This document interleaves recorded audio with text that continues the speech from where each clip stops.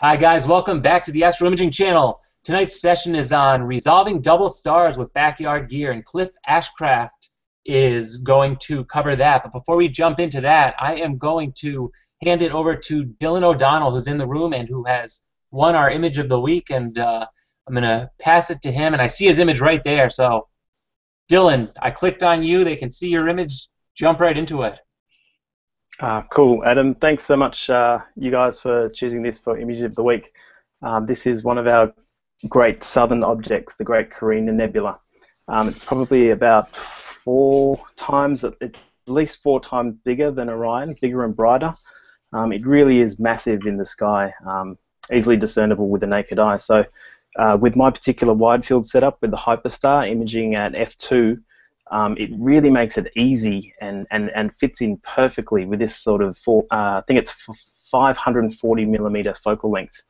Um, and it even barely scrapes in, it sort of scrapes over the top. But this is only one and a half hours total integration. So uh, one hour of that's just on the RGB, taken with a um, one-shot color CCD camera. And then I just mixed in uh, a luminance layer of um, hydrogen alpha for about 30 minutes. And I did this last year as well, um, and I thought it was great last year, but I've learnt so much in the last uh, year through watching um, this channel particularly, and making the jump over to PixInsight and getting things a bit better, um, particularly with this object to star reduction to really bring out the, the detail in those, um, in those dust clouds. So yeah, thanks again. No problem. Thank you for sharing, and I'll remind everyone out there, um, feel free to share your images with us, and we will uh, put you in consideration for the image of the week. Uh, we're doing most of our sharing right now on Facebook because they make it easier to share images. Uh, I wanted to mention this to a few of the people in the room. I didn't get a chance, but um, if you have an image and you're not on Facebook uh, and you can't find that thread, uh, the what the heck's it called? I don't even remember what the heck what the heck it's called, but uh, just uh, share your image with the Astro Imaging channel, and I will see it and then I will either get it into the right place or just consider it while it's up there. At least you'll be sharing it with us, and I can reshare it, and everyone will see. So uh, that's probably the best method for uh, for that. But uh, right now, I'm going to hand it right over to Clif, who's going to uh, start his presentation. There you go, Clif. Okie doke. Uh, get a little start here. I've been an amateur astronomer for quite a while and this is not my first uh, uh, effort in double star observation. I was quite active back in the uh, 2005 2008 era and published a paper on my observations in the Journal of Double Star Observations. But I had not been active in the last few years, although I kept touch with what was going on by uh, uh, reading the comments on Uncle Rod's Yahoo group Binary Stars Uncensored. And uh, in September of last year, I noticed a number of very uh, active uh, discussions going on uh, centered around a fellow named uh, Russ Genet, who's a professor at Cal Poly, and some of his associates who were working on trying to get speckle interferometry working for amateur astronomers and they were very excited about new developments in CMOS sensor technology. Um, in particular, there was a new camera that was made available by ZW Optical called the ASI 224MC. And they were speculating that the noise levels, the read noise levels in this particular camera, and the sensitivity were such that uh, what was heretofore required a you know, $14,000 camera, an, an electron multiplying CCD camera, and a two meter class telescope might become something that an amateur could do in his backyard. Well, this immediately got my attention because I happened to own an ASI 224MC and I had been using it successfully for several months for planetary imaging. So I jumped into the conversation and I volunteered that uh, I'd be happy to test this. They were all getting ready to present a paper at uh, a symposium in Barcelona, uh, Barcelona, Spain, the Double Star Multiple Star Conference. that uh, they were proposing that these new CMOS cameras be tried out for this purpose. So I'm all ready to try it out. So they hooked me up with David Rowe, who had a uh, computer program that did all the necessary Fourier transform mathematics to uh, work on uh, speckle images. And uh, uh, they gave me a list of uh, doubles to look at. And to make a long story short, within about a month or so, we had enough information that they could change their paper over to a wow, this works kind of a paper rather than a speculation paper and uh, a couple of publications in the Journal of Double Star Observation. So uh, without any further ado, let me get into my presentation. Um, uh, let, let, me see here. If I just make, uh, can you see that, uh, Adam? Not yet. Uh, nope, not yet. Um, hover over the left side and the green box screen share. No. Let's see, let me get over. There we go. Okay. Screen share. And then uh, I forget what your computer calls it. Um, not full screen. Desktop, I believe.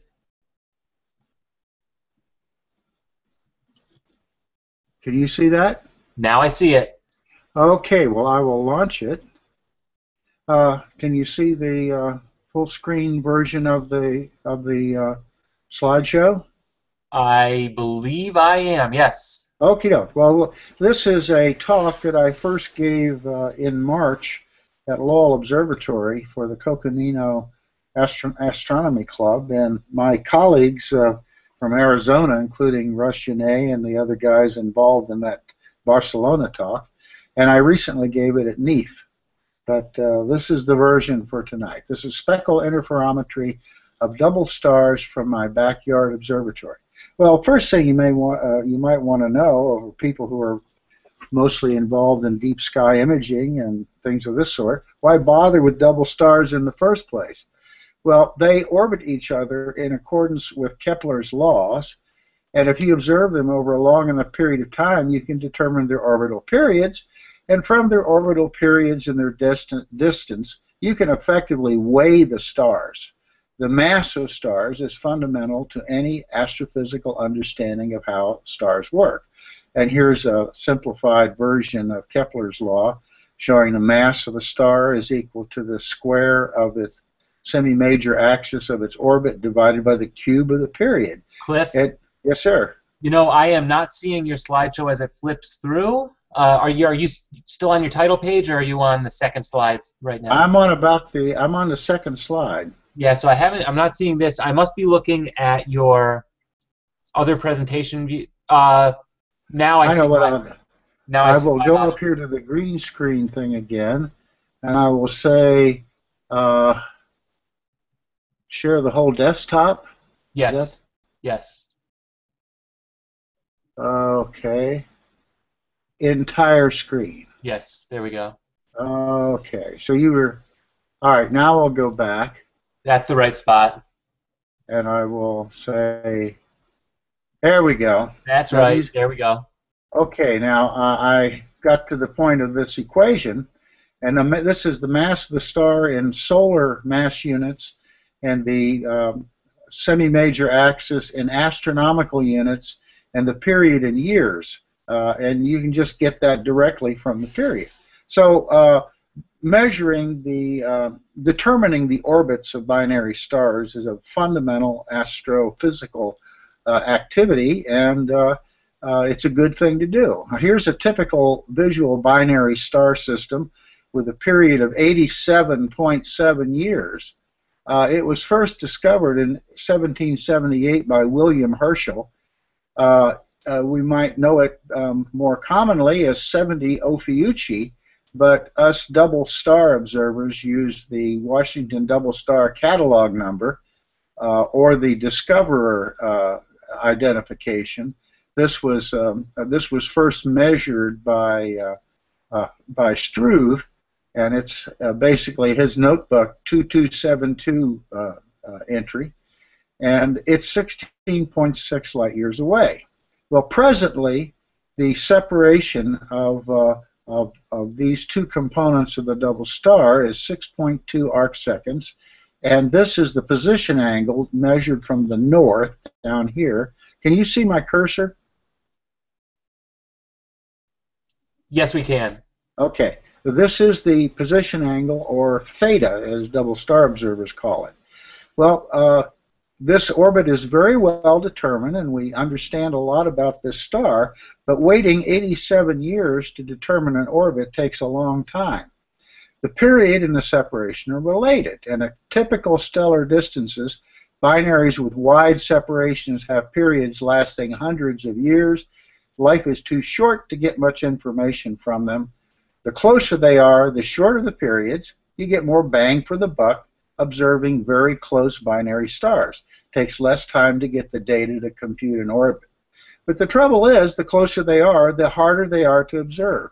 Atmospheric turbulence limits the resolving power of Earth-based telescopes. That's why we put the Hubble in orbit.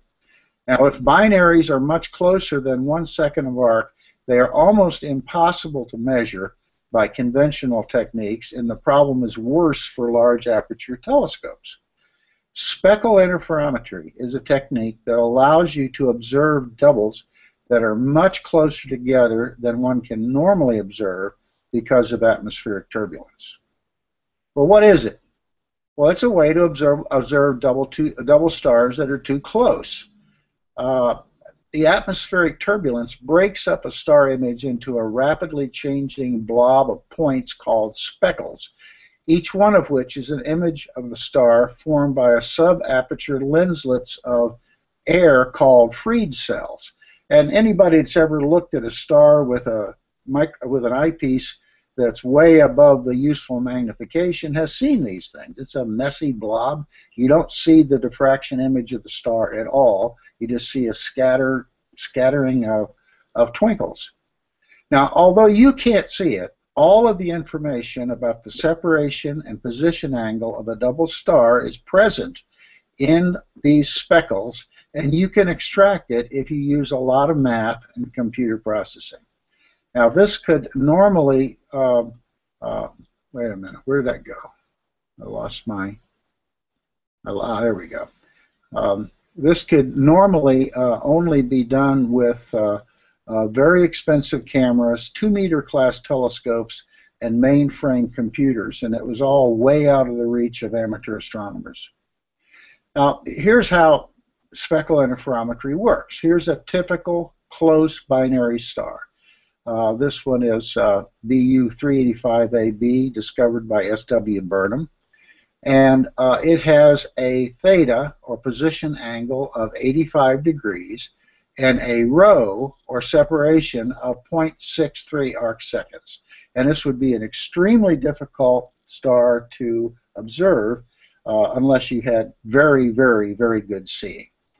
Uh, what you should see, uh, if the telescope were in orbit, would, would be these two uh, diffraction patterns uh, not overlapping, and if you got that image, you could measure it perfectly well. But, in fact, what you actually see is this. This is a pattern of speckles uh, uh, about that uh, that blob in the middle uh, is really the, the, the image of the of the two components of that double star, but all of the information about the separation is in there. Uh, what you do in speckle interferometry is you compute the discrete two-dimensional Fourier transform of each frame of a set of a few thousand images. And you square that to get the um, uh, modulus squared of the uh, uh, of the Fourier transform. This has the amplitude in it, and you average that over all of the images you take, and that gives you something called the power spectral density. And if you look at this closely, you can see that, that looks like there's some fringes uh, this direction perpendicular to the line between the two stars, but it would be kind of difficult to get it out. Well, what you do is you just take the inverse Fourier transform, and this converts it into something that looks like, but isn't really an image. This is the autocorrelogram that you get out of speckle interferometry. And if I now make another version of that first diagram we had here, we see that there are there is an ambiguity. You don't know whether theta is this angle or all the way around. There's a 180 degree phase ambiguity, but you have a very accurate measure of the separation. This is 0.65 arcs or 63 arc seconds apart. Very easy to measure, in the uh, and it always derived from horrible looking images like that. Well, how did the professionals do this? First of all, you apply for a grant to get this uh, to buy a $14,000 to $50,000 electron multiplied CCD camera. You get in line for an for access to a two meter class telescope, obtain access to a mainframe computer, hire a postdoc who remembers what the Fourier transform is and who can write Fourier Fortran programs, then you assign a team of graduate students to learn how to attach the fancy camera to the telescope, calibrate it, take thousands of very short exposure images, they typically use less than 10 milliseconds, of each close binary star you want to measure, and save the image files to big reels of magnetic tape to take to the postdoc who is still struggling with Fortran format errors. When the program is not too buggy, read the data tape compute 2D Fourier transform of each image, modulus squared, get the power spectral density, average over all the images, take the inverse Fourier transform to create the autocorrelogram, and do that for every one of the binary stars you've measured. Um, publish, write theses, apply for a grant for a more expensive camera. And this is pretty much the process, way out of reach of an amateur astronomer. Uh, much of the work was done by the professionals at the U.S. Naval Observatory working with Brian Mason. Well, there's been some changes. The, the advances in uh, consumer electronics in both sensors and computers ha uh, has created a huge consumer market, about $6 billion worth market for digital sensors. This motivates corporations to invest in charge coupled devices and CMOS sensors for digital single lens reflex cameras as well as webcams, surveillance cameras, and cameras and smartphones. Emerging sensor technologies seem to be based on CMOS sensors. CCDs are mature, and uh, you can expect to see uh, this happen for deep sky imaging soon also. Uh, fierce competition brings rapid technological advances and drives the prices down, to the point that you can get low cost ZW optical cameras with these sensitive and low noise Sony CMOS sensors. That, uh, that ASI 224MC costs only $359, uh, not much more than a webcam would cost. Computer technology is also important. Uh, the availability of powerful personal computers, multi-core, high-speed, huge storage space, and most importantly, we have a cadre of advanced amateur astronomer programmers with user groups who have developed powerful programs for lucky image uh, selection, stacking, enhance, and enhancement, as well as efficient image capture and advanced image processing. Guys like Cor Berrevoets, who gave us uh, Registax, Emil Kraaikamp, who gave us AutoStakkert, Torsten Edelmann, who gave us FireCapture, which is the best darn video capture program I've ever operated, and of course David Rowe, who developed the Speckle toolbox that I use to process these interferograms, and many more. Uh, um, um, oh, what's his name? Uh,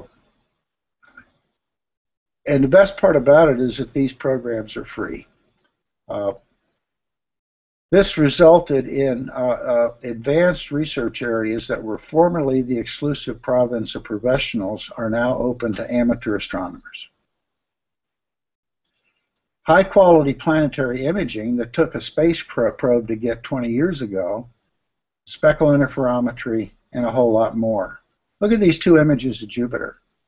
they both show a lot of detail. The, the first one, though, was taken in 2001 by the Cassini spacecraft that was only 10 million miles from, uh, from Jupiter. The one on the right I got from my backyard with an 11 inch telescope. And I was 500 million miles away at the time. And uh, this is with uh, CMOS technology of today. Here's my observatory. Uh, in fact, it's the entire research staff of Prineville Observatory. Uh, I'm the astronomer, instrument ma maker, and janitor, and that's my night assistant and head of security, Boomer. Um, here's the setup I use for speckle interferometry. In fact, it is identical to my setup for high-resolution planetary imaging. It's built around a Celestron C11 Edge telescope. Uh, f10 prime focus uh, on a fork uh, mount on a wedge. Uh, I have um, an all-important accessory here is my video finder with a 70 millimeter f1.8 lens on it, uh, and in one of my older uh, video cameras. This is to help me get these uh, very faint, obscure double stars onto the very tiny uh, CMOS sensor of the camera. And of course, here's my main camera, which is the ASI 224MC, sitting behind a 3x Barlow lens. So I'm I'm working at effectively about f f30 in this. Uh, uh, you need very long focal ratio to see these speckles. Um, the setup uh, is essentially identical to my planetary imaging, uh, but there's one big difference. For speckle interferometry or any kind of double star astronomy, you need to calibrate the camera, figure out what the camera rotation angle is and what the image scale is.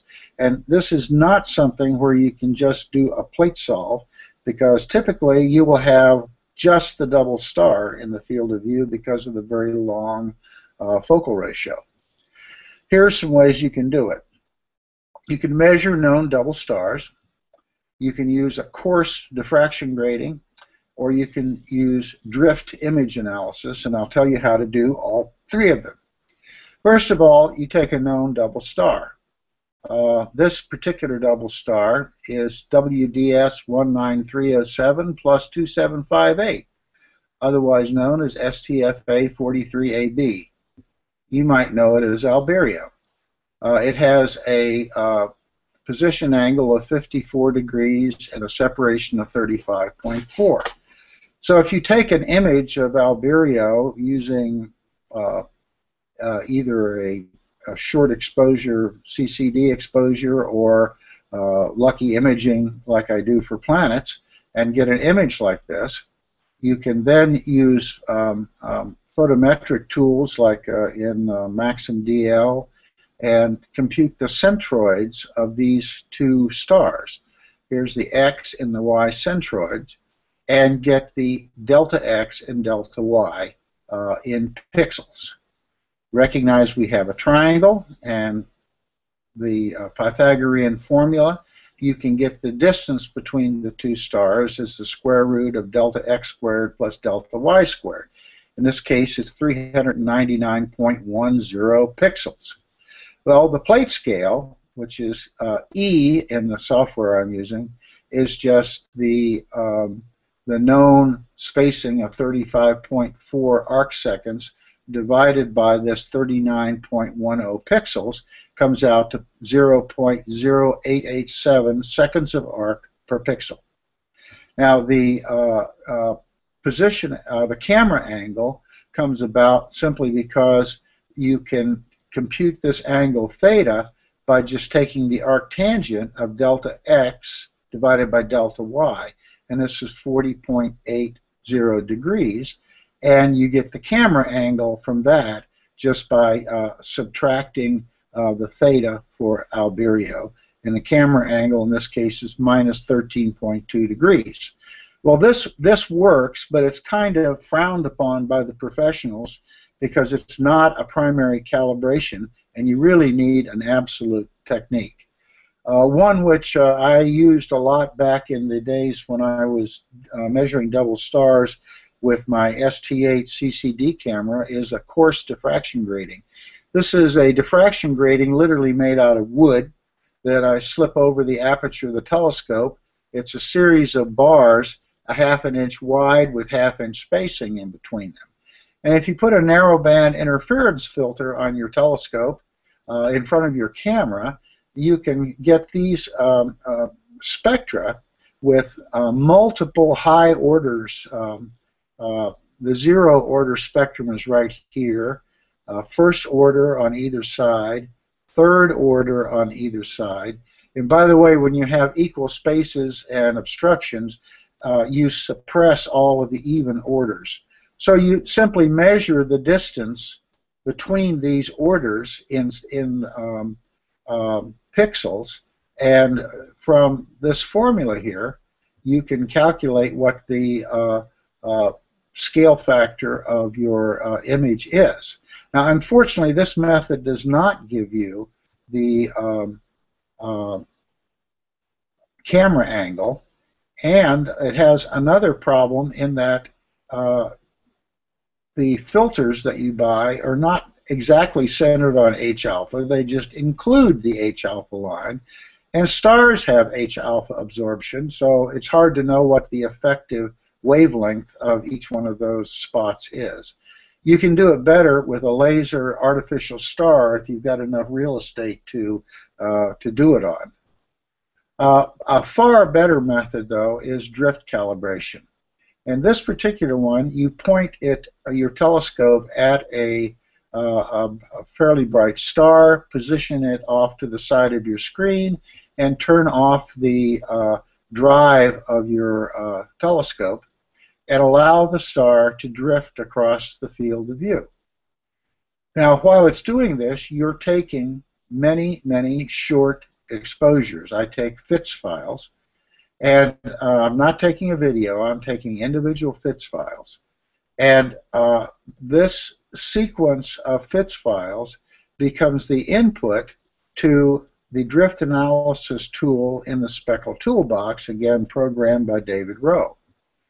Uh, this particular tool uh, allows you to make a fit of x against time, you get the slope of this, dx dt, y against time, you get the slope dy dt, and from this you can directly calculate the um, um, um, um image scale uh, if you know the declination of the star that you're that you're observing. Similarly, you also get a fit of x versus y, and the slope of this line here is just the tangent of the camera angle. Well, this is all incorporated into the uh, uh, screen of the program, and once you've put the declination of the star in here, you directly read off your camera angle and your image scale, in this case 0.08694. And this is both easy and accurate. And uh, I do this before every run of uh, double star measurements, and again at the end just to check to see that something hasn't moved.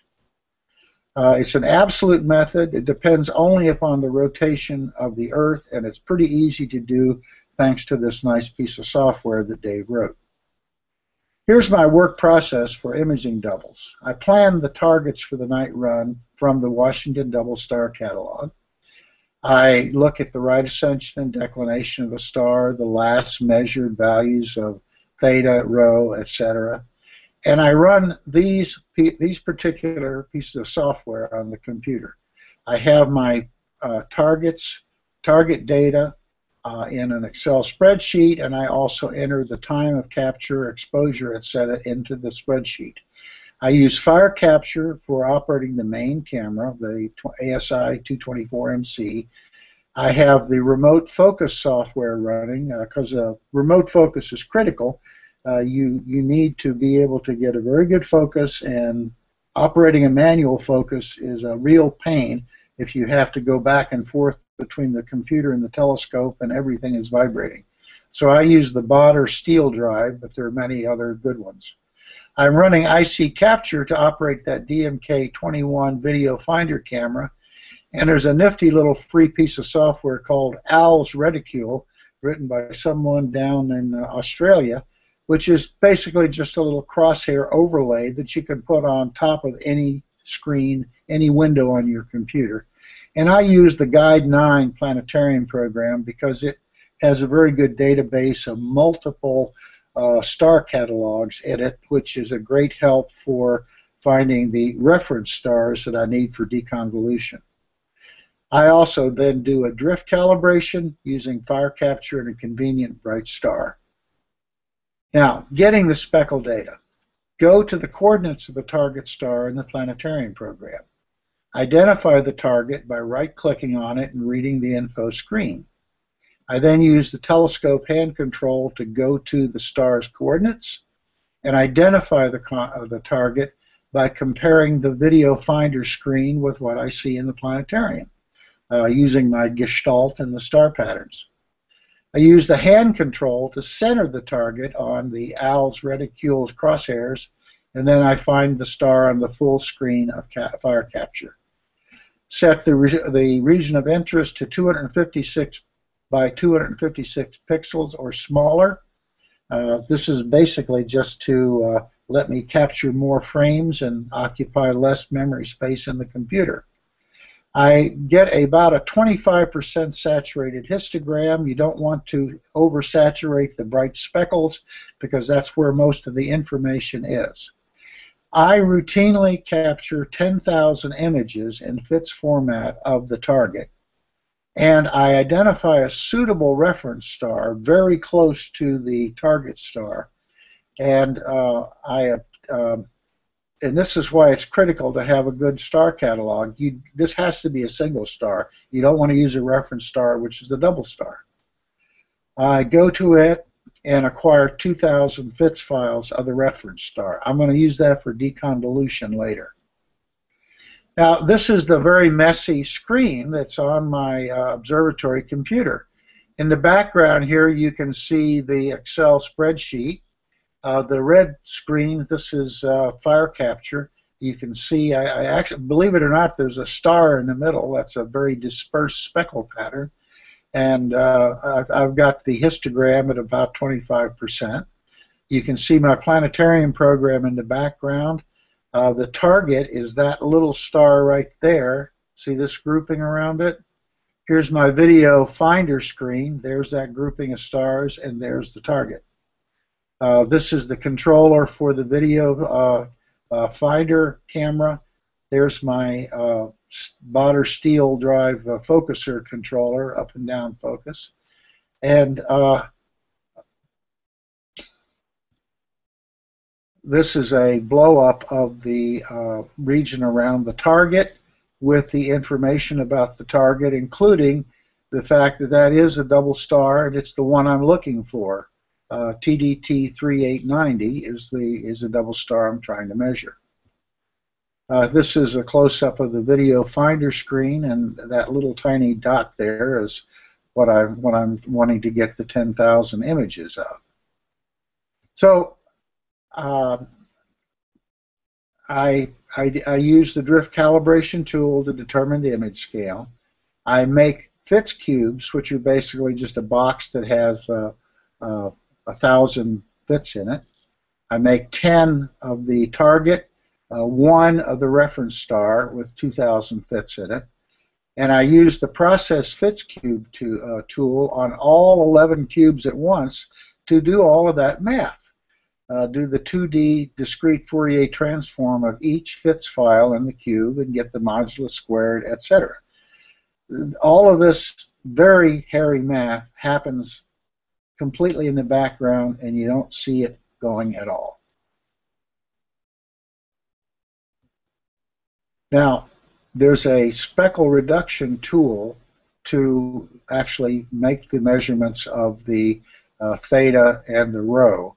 Uh, you put the uh, power spectral density files of the target star and the reference star, view the fringes of the interferogram, adjust some high and low pass filters, and use the astrometry tool to extract the theta and rho. Uh, here is a typical uh, uh, autocorrelation diagram from a, a star. Uh, you notice I have the, um, it's COU 37 is the target star. My reference star is TYC 1270138 and this is very this happened to be very close to the target star and I acquired it right after I got the 10,000 frames to make the seeing as similar as possible. So I am deconvoluting the target with 27% of the uh, uh, full intensity of that reference star, and these are the uh, Gaussian low pass uh, filter settings, 35 pixel radius. This is basically a set it and forget it. It's determined by the resolution of your telescope, but this one is very critical and it takes a lot of fiddling to, to get a recognizable and measurable uh, autocorrelogram. And uh, this uh, pressing this uh, green um, uh, target brings up the astrometry screen and you can see that it has already picked one of these and has measured the theta as 265.518 degrees and that it's 0.4644 arc seconds, less than a half an arc second apart. And this was from an image that you couldn't even see a star on if you, when it, while it was being captured. Now I tabulate the results in my spreadsheet, compute averages, standard uh, deviations, and communicate it with fellow double star enthusiasts. Use the Yahoo group, publish papers in the Journal of Double Star Observations, and give talks about it. Uh, here's uh, a, a, typical uh, couple of stars that I've observed to show you what kind of uh, accuracy I get. This was one that didn't work. Uh, this is what the autocorrelogram looked like. This is what the lucky image of it looked like. I can see it's a double, but there's nothing to measure. And the reason is that these are 0.35 arc seconds apart. You cannot beat the uh, diffraction limit of your telescope. You can just beat the seeing. So this is an example of something that's too close to measure with an 11-inch telescope. On the other hand, these are two autocorrelograms with lucky images that went with them. Uh, the lucky images let me know that I should measure the theta here, not here. And uh, this one, it's on that side. That's the smaller star. But if you look at the um, uh, standard deviations, I've um, computed the rectilinear component uh, components x and y. Uh, I'm getting the uh, positions of these things to within 0.05 arc seconds. So the measured uh, separation is 0.65 plus or minus 0.06. The theta was 313.3 plus or minus 1.47. Similar result on this STF 2606AB uh, uh, with even better precision on it. Uh, when the professionals saw the results that I was getting with this inexpensive camera and 11-inch telescope, they were essentially blown away by it. That uh, that I could get this kind of precision on something less than a half arc second across, and uh, they're they're they're quite faint. I think this was only a tenth magnitude one. Uh, tabulate the data. Uh, I've gotten uh, this is about a third of the output at the point where I wrote my uh, my uh, uh, paper. On a good night, I can image and measure anywhere from five to seven double stars. And this is a kind of a summary of, of maybe about two-thirds of what I've done now.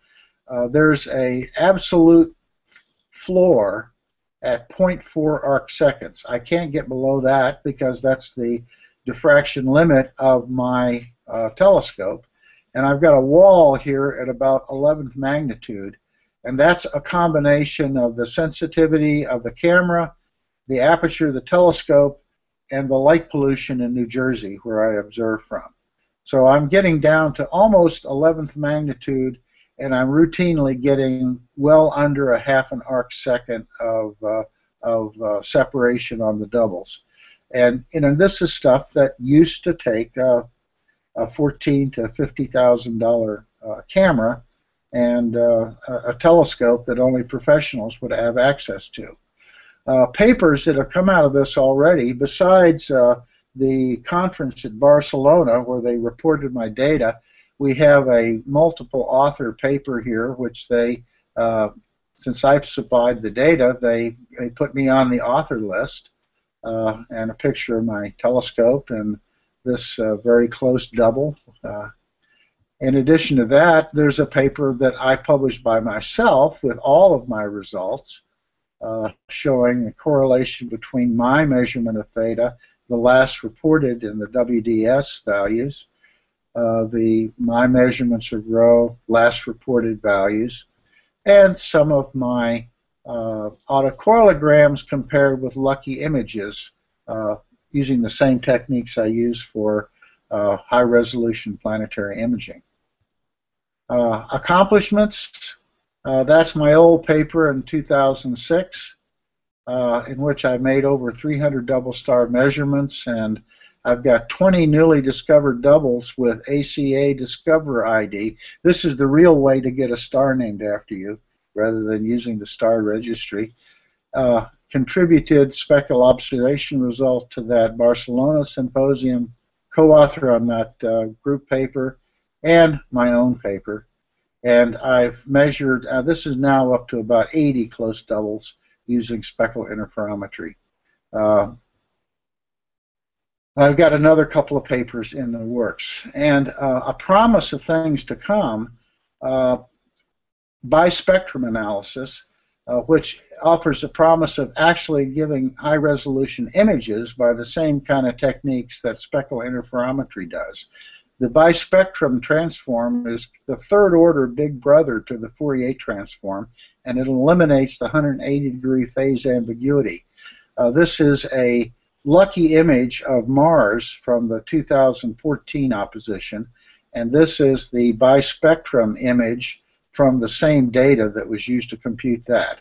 Uh, it's not very good, uh, but you can you can rec- at least recognize Syrtis Major and uh, uh Cimmerium on it, and uh, I have hopes that we're going to be getting uh, high quality images in poor seeing that that of, of the planets. So this is basically the talk.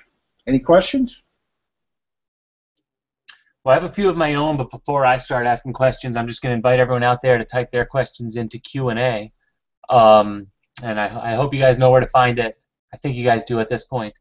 Um, yeah, I was going to ask about the I, what I think you're referring to as the 180 degree phase ambiguity. Um, yep. Why? Why?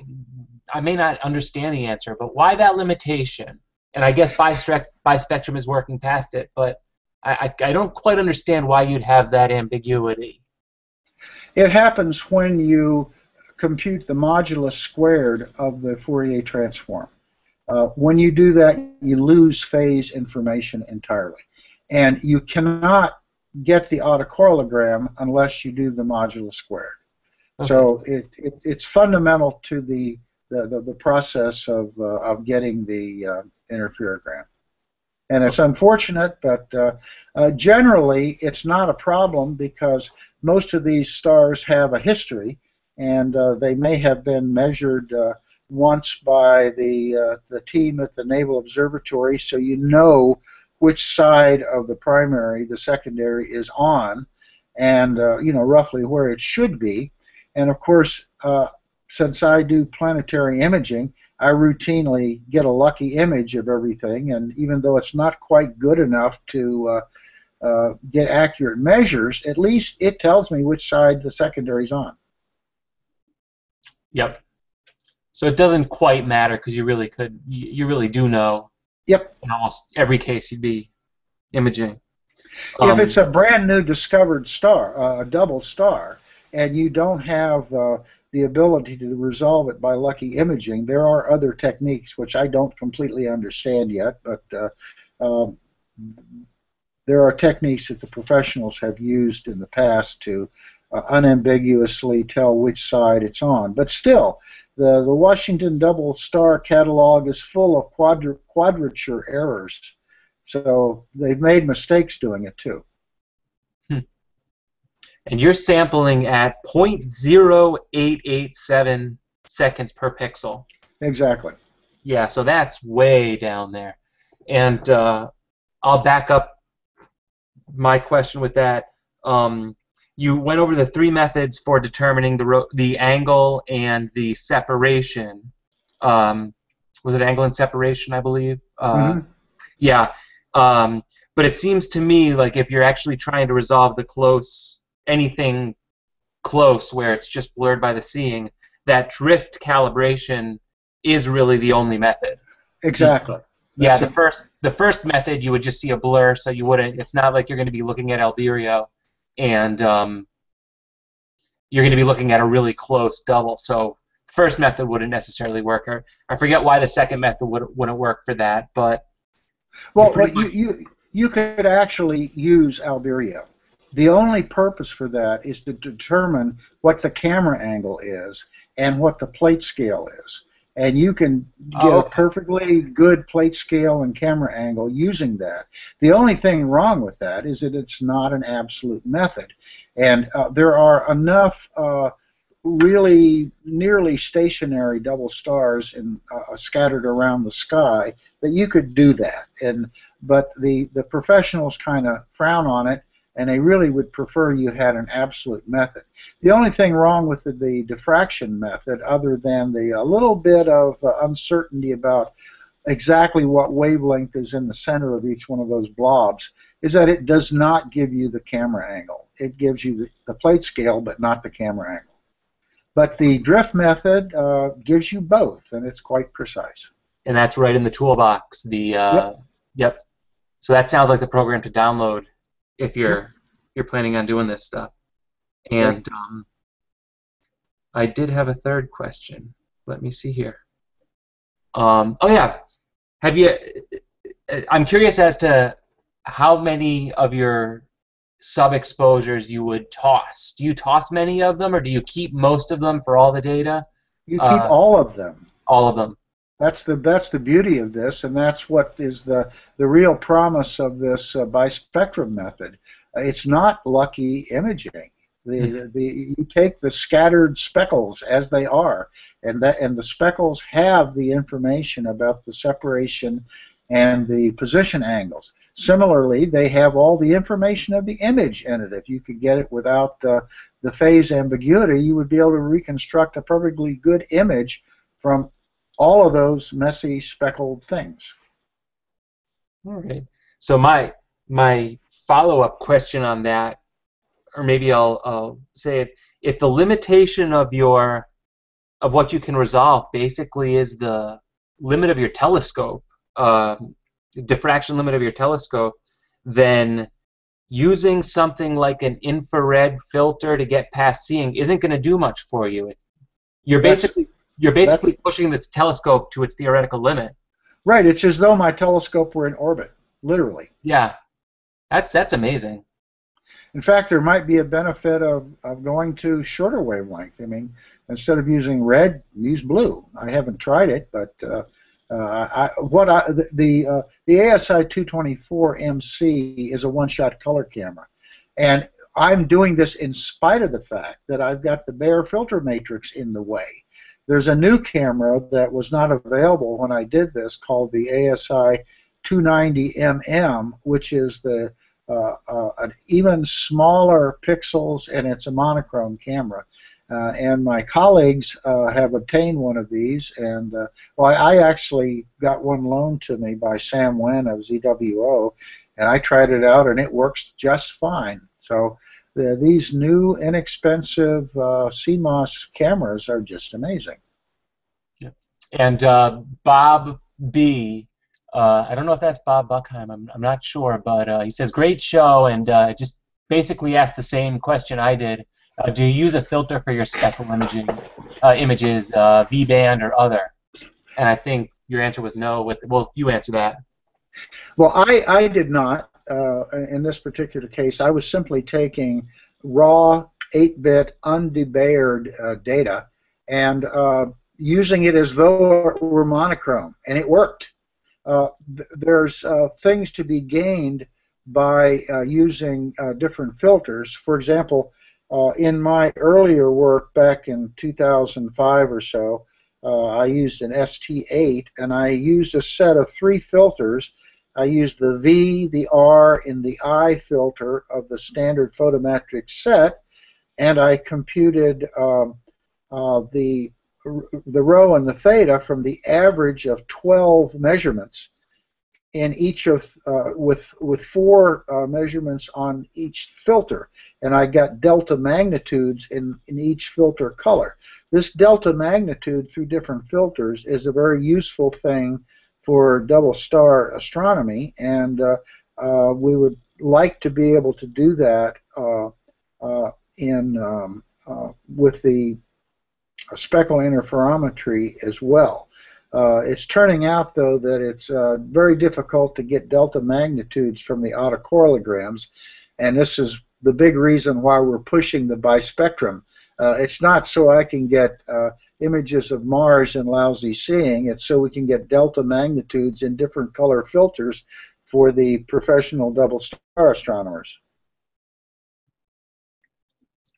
Cool. And I just uh, pulled up the specifications of the Edge HD 1100. I used an 8-inch, but I wanted to see the uh, the uh, Rayleigh limit and the Dawes limit. Dawes limit is 0.42 arc seconds, and the Rayleigh is 0.5.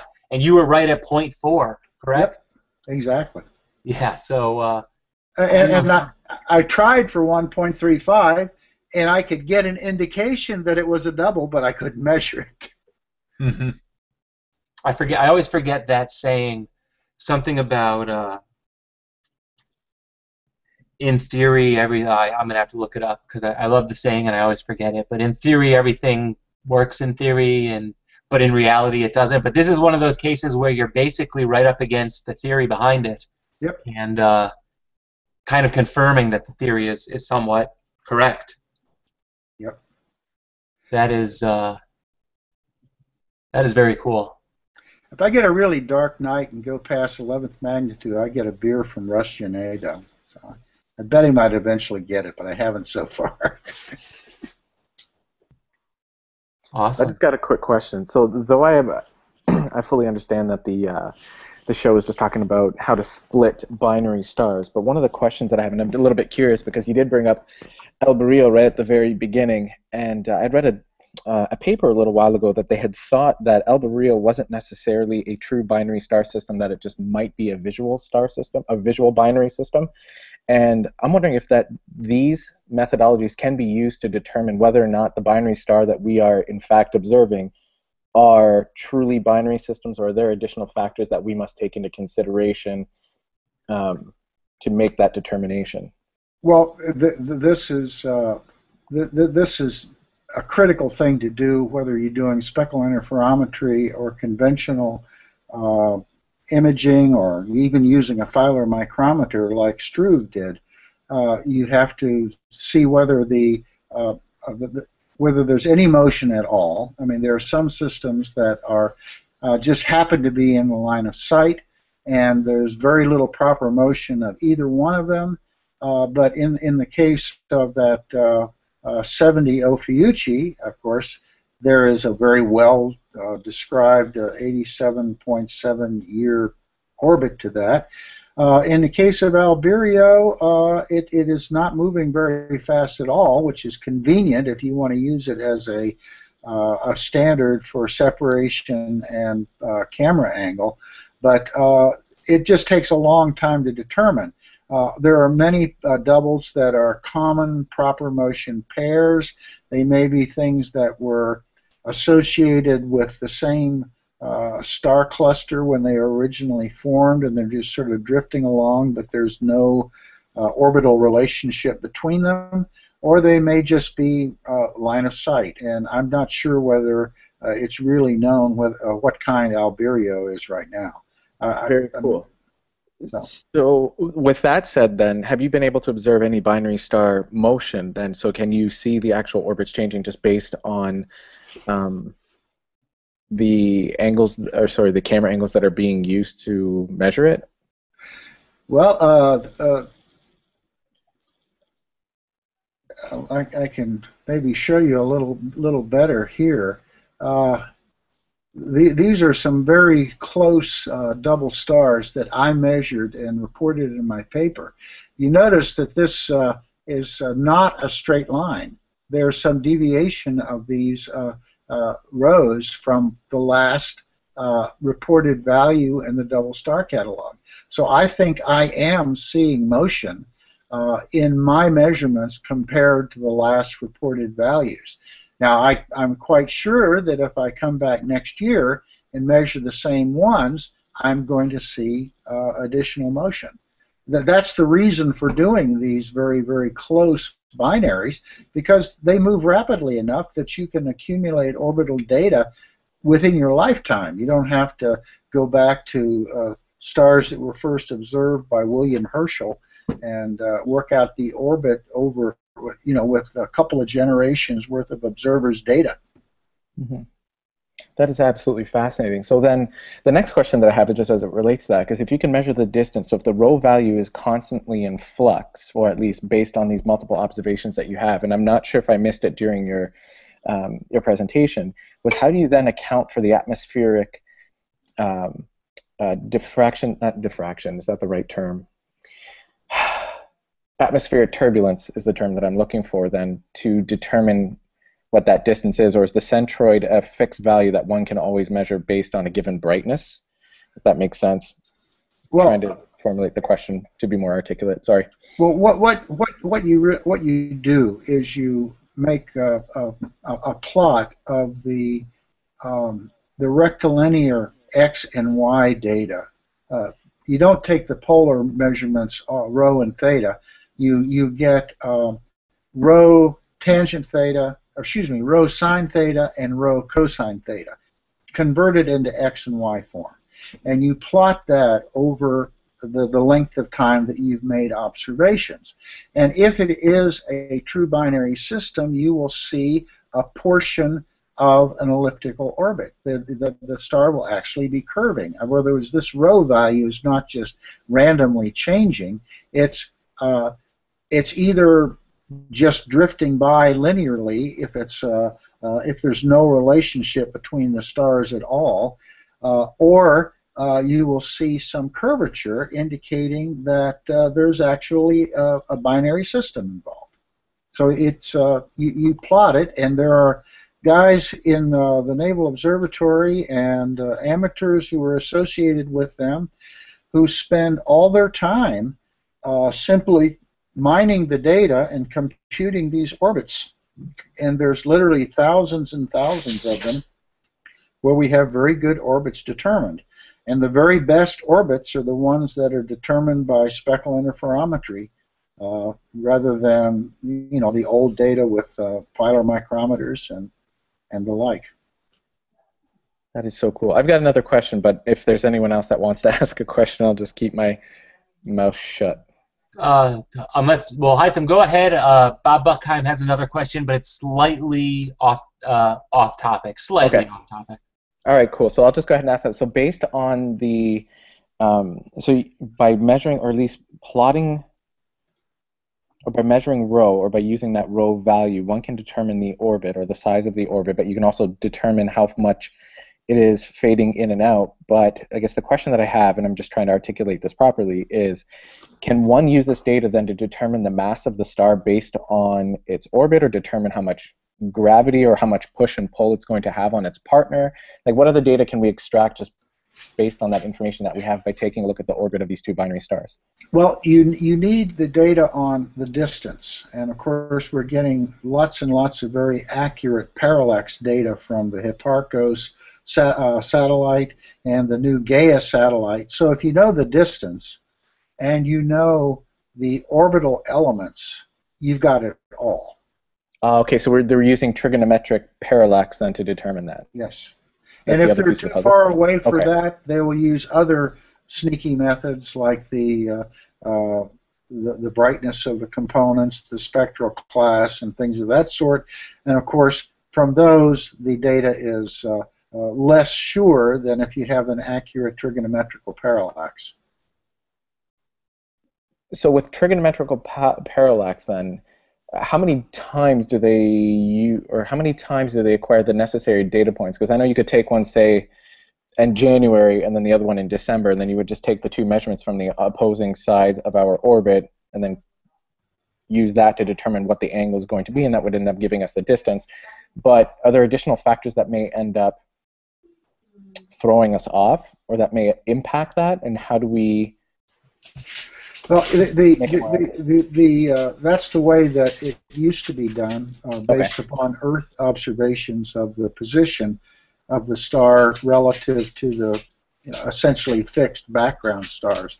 But these, uh, the Hipparcos satellite and the Gaia satellite, they're just up there basically uh, spinning and scanning, and they're continuously doing this throughout their entire orbits, and uh, they're accumulating a tremendous amount of data, and it's uh, quite accurate. So it's uh, it's not just from the opposite sides of the Earth orbit; they're doing it constantly throughout the orbit. So uh, uh, I'm not completely sense. I'm not completely sure of the exact way it's done, but it's it, you don't just uh, you you don't just do it on one star and then wait till you get on the other side of the orbit to do it again. They're continuously doing the whole sky. Okay, that's awesome. Thank you. Yep. And uh, Bob Buchheim's second question, uh, like I said, slightly off topic, but very uh, popular question. Uh, scope collimation. How do you do it? What's your method, and how often do you do it? Well, that's interesting. Uh, I, have been just tickled with this Edge HD machine.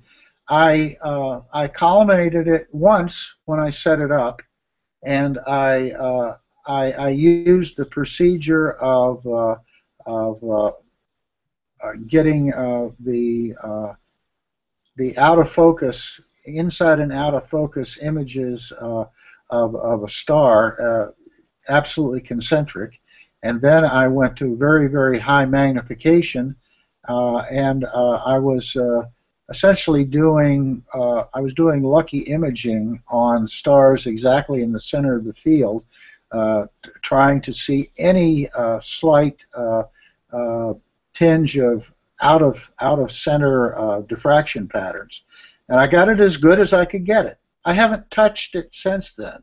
I've had the telescope uh, in my observatory, sitting on the pier, now for about uh, about three years, and uh, its collimation is fine.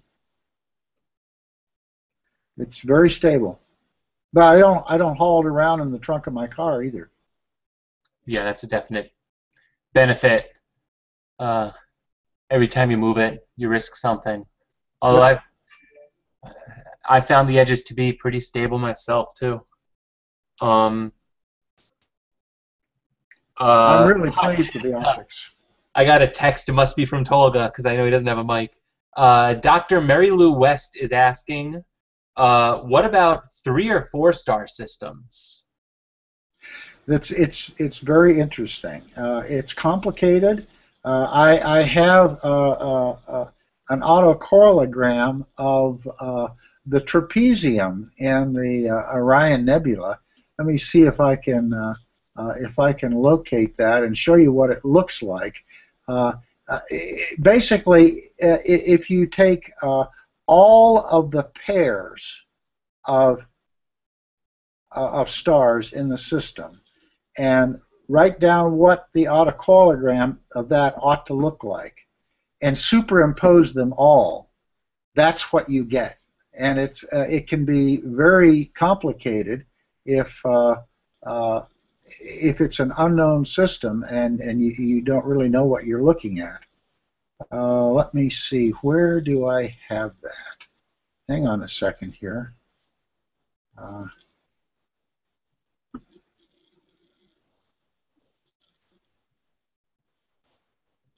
I think I have it on my website. I think I have the uh, um, image of double star observation. Wait for this to come up. In the case of Albireo, it was it was pretty uh, uh, uh, obvious. No, I don't have it here. I don't have it here. Uh, uh, let's go on and, and, and, and have more discussion, and I will look for that, and I will I will show it to you when I find it. Um, what are the uh, uh, I'm sorry, I'm losing the terminology here. The, the fastest uh, period double stars. Um, what kind of time length does it take for them to fully uh, rotate or orbit each other?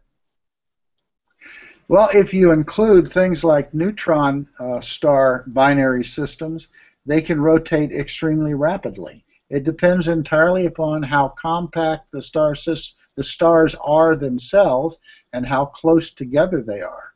Uh, uh, when we're looking at, for example, these uh, uh red dwarf stars with a hot Jupiter orbiting around it, it's kind of hard to tell that from a binary star by the way I look at it. And they have orbits that are, are days. And of course, with the neutron stars, uh, it's uh, minutes or hours, depending upon how close together they are. Well, can you actually resolve those neutron no, stars? No, not me. okay, I was gonna say, wow, you can do that. That no, no, no way, no way. I'm trying to find where I have the trapezium. So I'm I... wondering, with all these observations, have we ever seen a stellar collisions of any sort based on the data that has ever been gathered? So there, what was there, once there was something that it was it was in the news uh, uh, uh, last year, which uh, looked like it was a uh, uh, either a stellar collision or a star. it was a black hole ate a star. That's what it yeah. was. Yeah.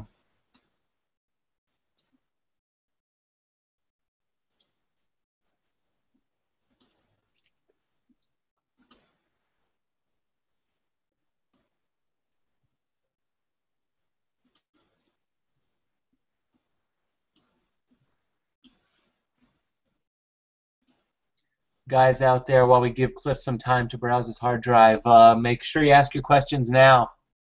Um, it's been a really cool presentation. I, I'm still kind of amazed.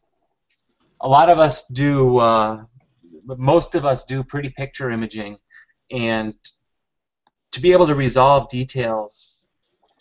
Now, a lot of we're not really doing, we're not really concentrating on the point source uh, stars so much as the nebula and the, the galaxies, but to uh, to resolve at that level, it's just really crazy. Maybe with well, enough I, processing power in the future, we'll be able to use that type of uh, technique to actually help us resolve nebula a little bit better. Well, I'm, I, am continually frustrated by seeing, since I do uh, uh, uh, planetary imaging so much, and uh, to be able to get resolution as though my telescope were in orbit is just just marvelous to me, absolutely marvelous. Yeah, that's what I absolutely love about using uh, the infrared filters because, like you said during your presentation, it really helps cut through all that seeing, and it's amazing how much of a difference there is just from going from blue to green to red then to IR. It's just a, a world of a difference in the amount of detail that you can resolve. Hytham, are you using infrared on deep sky stuff or just for planetary? I bought an infrared filter. I just have yet to put it into my into my uh, filter wheel down at the observatory. So I, I can't wait. I'm looking forward to it because the 16803 it's super super low on the scale when it comes to IR. So it's gonna it's going to be incredibly noisy. I'm not uh, all too optimistic. You know, I, I, I hate to be a wet blanket here, but I got the infrared filter from Astrodome. Yeah. Kind of nice emission nebula and didn't see a thing. yeah, I don't expect to see very much, but I just wanted to give it a shot. I figure why not, right? Yeah, I my exact. So I, if you find something, let me know. Maybe I missed something. Uh, Clif, I do have a question for you. This is Eric. Yep. What are the lessons that we can take from that technique for our, say, uh, emission nebula imaging? Is there any, anything? I see you use it for planetary, so there must be some techniques that we could perhaps learn from this. Well, this is going to depend upon how uh, well the bispectrum tool gets developed, and uh, there's a big limitation there. You know what the isoplanatic patch is? It's a little tiny piece of sky where uh, the wavefronts of the of the stars encounter uh, pretty much exactly the same uh, seeing condition. Well, the uh, the bispectrum uh, imaging uh, will only be within that isoplanatic patch, and that's kind of discouraging for um, imaging big field things like like nebulae and star clusters and the like.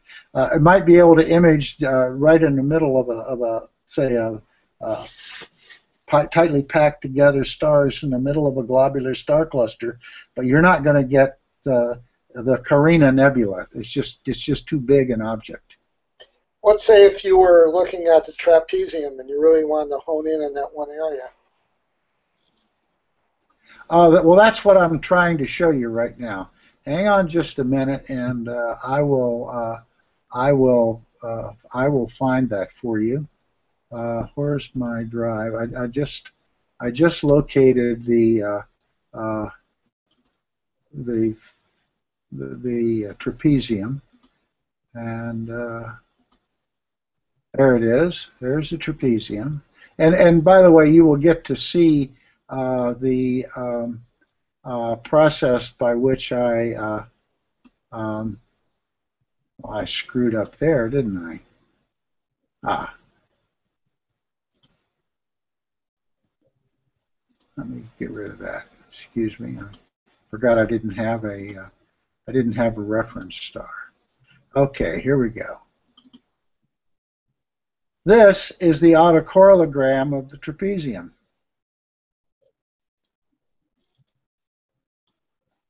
And, and if you look at uh, this, this, this, and this, you can sort of see the trapezium there, right? And its mirror image over here. Can you guys see what I'm looking at? Yes, we can. And uh, well, this this is a autocorrelogram of a quadruple star system. I mean, they're a little bit farther apart than I normally measure, but uh, the, the, all of the uh, this distance here, this group here is that particular pair. This one is that particular pair. I think this these things over here are those two.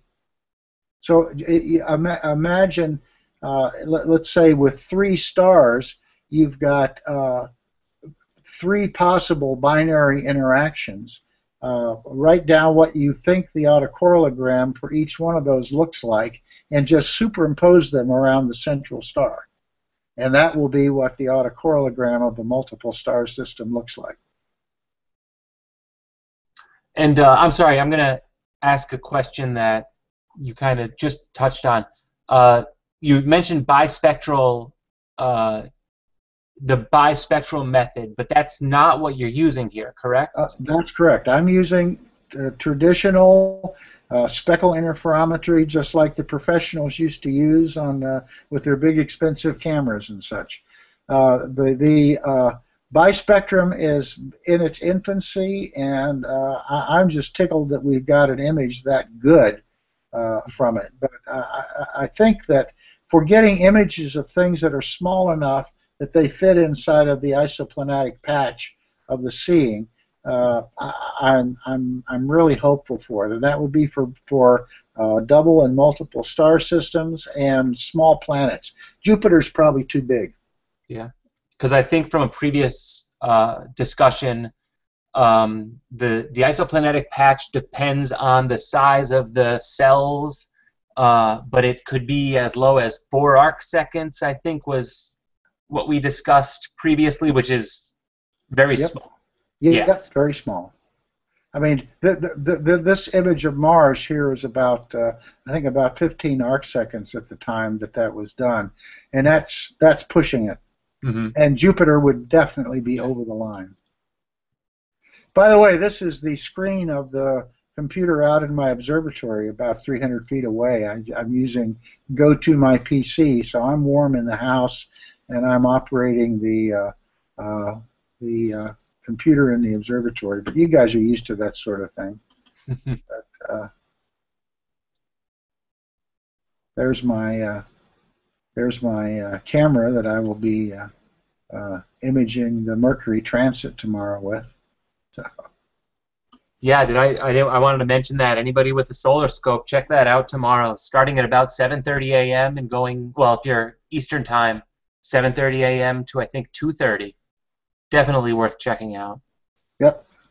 Um, one more question for me.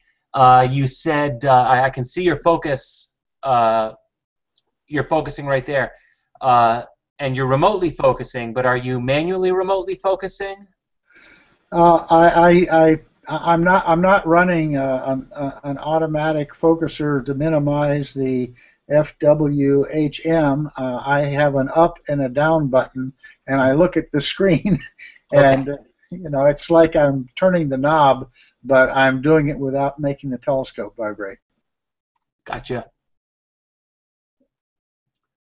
Yeah, great presentation. This stuff is really cool. It's Well, really, really insane what you could do with from your backyard. I, it's funny that the pros had to find an amateur to get the equipment to test out their theory. I, I got a big kick out of it. it it's been uh, I, literally haven't stopped running since uh, uh, since that happened. So every, every clear night I'm out there, either lucky imaging planets or speckle interferometry on uh, on double stars, and and then when you add to that uh, what that uh, what that we're doing uh, in cooperation with the KELT program, and uh, I'm sure that. Uh, uh, Tolga has told you about our um, uh, observing exoplanet transits. You know, it's it's amazing what you can do in your backyard these days, or in the, or in the club's observatory. hmm So All with these new CMOS sensors coming out of uh, ZWO. That's awesome. Yep. I met Sam at uh, Sam Wen is a young uh, amateur astronomer who formed that company. I met him at NEAF, a very pleasant guy, and he's extremely helpful. And you can't beat the price. My goodness. Yeah. A lot of us, uh, well, I know a lot of the people in this room have really expensive uh, CCD cameras, and uh, we look at uh, the cameras that they're putting out, including is it the 1600? I think Tolga's testing it actually, Yep. um, and it's kind of insane. I've Uh, got one coming in the mail, so I've ordered Yeah. one. You you look at them and you shake your head because uh, wow, the technology. I don't know how they make this stuff so reasonably priced. well, the, the, that's that six billion dollar market I was telling you about. Yeah, yeah. And this drives a lot of technological advance, and uh, uh, it's great. We it's a great time to be an astronomer. Yep. Awesome. Well, uh, I haven't seen any questions from outside the room. Uh, Clif, if you wanted to plug your club or plug anything, you're welcome to do it now before we uh, call it the end.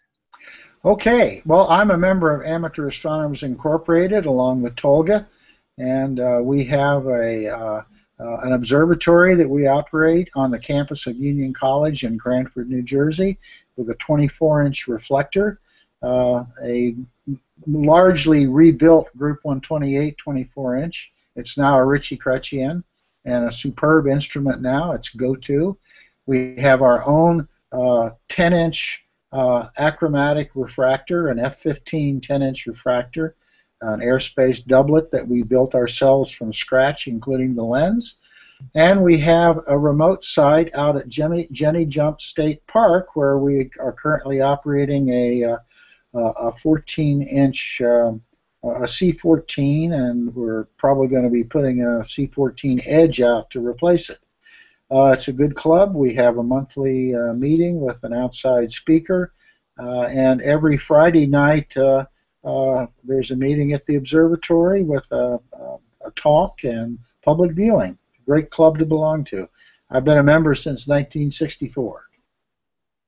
Great. That's not your club that's selling the large. Is it a Newtonian? I don't know if you've seen it. If you browse Craigslist for telescopes, someone out in New Jersey is selling a really big Newtonian with mount.